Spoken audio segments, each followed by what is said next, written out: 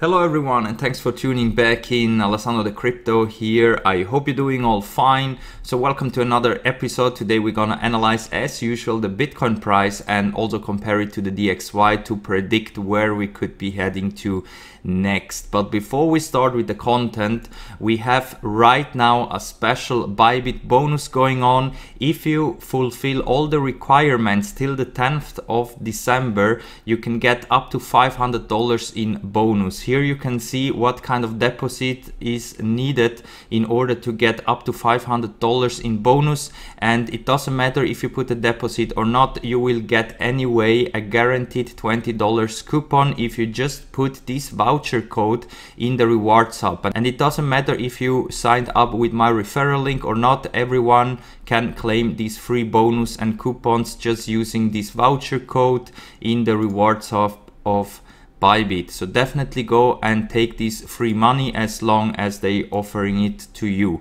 And right now, my friends, we can start with the content because Bitcoin currently is looking like that it's gearing up for another attempt here to push higher. Even though we had this breakout from this rising wedge, it looks like that we are forming here a possible, at least for the short term, double bottom pattern that could take us again towards $14,000 potentially to trade along this previous support, which now is a new resistance. And currently it's lining up perfectly here at around $14,000 in the one hour time frame you can see that also we got a buy signal and it looks like that we could have some room left here to the upside before eventually we're coming down towards $13,000 and potentially even have a continuation to the main support of around $11,000. And if we have a look into the DXY, you can also see that the DXY currently is falling down. Potentially we are getting supported here at the 200 moving average in the one hour at around 93.40. So the DXY still have some room left to the downside and therefore I think we will see this possible push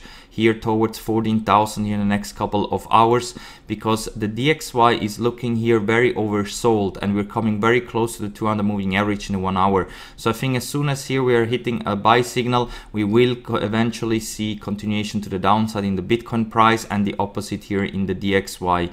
So this little sell-off that we're seeing here in the DXY, I think we are almost done with it. Maybe we're coming down towards the 200 moving average before we maybe have another bounce to the upside side only if we will start to close hourly candle below 93.40 or even worse below 93.20 then I'm expecting here continuation to the downside because in that case we will be back in this falling wedge that we were in here in the last couple of weeks. But so far it looks like that the DXY is just having a correction before maybe continues to pump. And the opposite thing here in the Bitcoin price. Potentially we are seeing in the next couple of hours here some more pushes towards 14,000 before maybe we're getting rejected here and start heading towards 13,000 and maybe even lower. Because if we go over into the four hour time frame you can see that currently we're trading below the 20 moving average.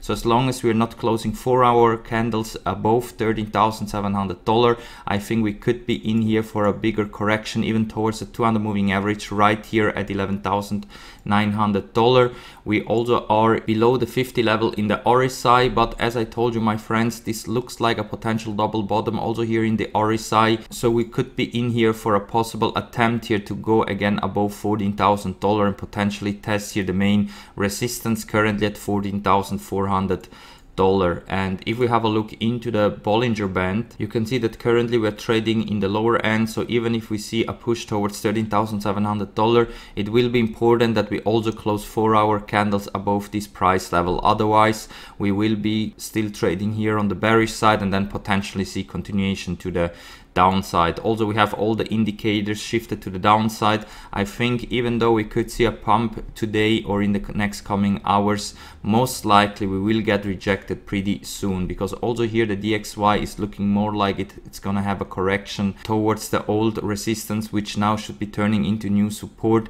before maybe we're gonna have another big leg to the upside. Only if the DXY will close again four hour candles here below $93. So within this falling wedge that we were in in the last couple of weeks, then I think this was a fake out and the DXY will continue to crash here to the downside and the opposite we're gonna see in the stock market and also in the Bitcoin price, we're gonna see a big pump in the price. And we can go over now into the daily time frame because here you can see that currently we're still far away from the 20 daily moving average, which currently is still here at $12,800. This was my target here for this breakout from this rising wedge. So I still think there is a high chance that we could reach this target and bounce from the 20 daily moving average if the DXY continues to pump. Also because here in the daily time frame we were looking quite overbought. Also I got a sell signal when we topped out here at $14,200. So a correction at least towards the 20 daily moving average I think it is very likely to come. In the worst case maybe we could fall even towards our main support right here at 11,100 dollar. This is also still in the cards.